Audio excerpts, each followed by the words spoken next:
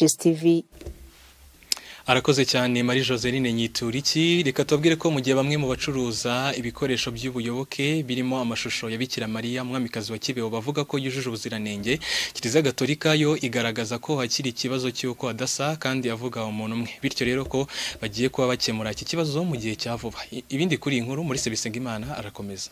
Hafi y'imiryango y'ubucuruzi iri mu nkengero y'ingoro ya Bikira Mariya ikibeho uhasanga ubucuruzi bw'amashusho ya Bikira Mariya arabajwe amashapure utujerekani tw'amazi y'umugisha n'ibindi. Iyo ushishoje ayo mashusho ya Bikira Mariya ntasa. N'ayo mu kigereranyo kingana na yo ubona atandukanye cyane. Ingingo ituma umuntu yatekereza ku buziranenge bwayo.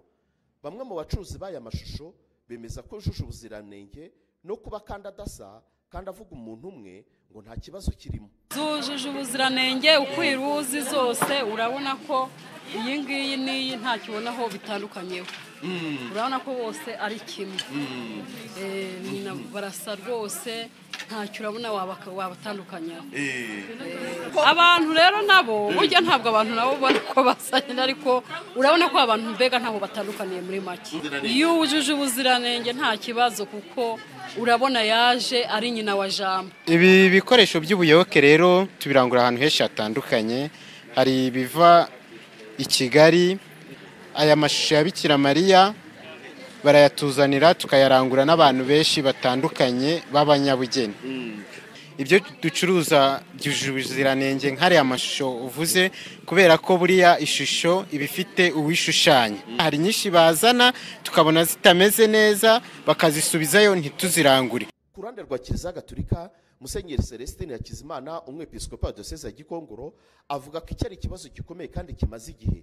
Ariko atangaza ko iki kibazo kiri hafi kubonerwa igisubizo ku bufatanye bw'inzego zitandukanye z'igihugu. Ikibazo gikomeye cyane naragisanze nkigera ku gikongoro ndetse n'uwambanjirije bari bagifite.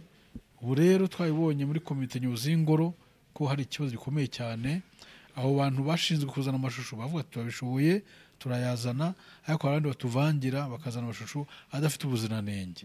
Ngo rero icyo kibazo twakivuze muri RDB baratubwira ati muduhe ilisite ibyo mushaka ko abantu batakwigana mutubwire ibyo mugomba kwibikaho umwihariko wanyu kugira ngo tubabuze kubivogera no gukora ibyo bishakiye muri iyi minsi turimo gushaka kugira ngo twerekane ibyo dushaka ko biba intakurwaho intavogerwa maze ibyo biturekere abikere diyoseze ariko ngoro ibikore maze ibyo twemeye ari byo bicuruzwa hariya.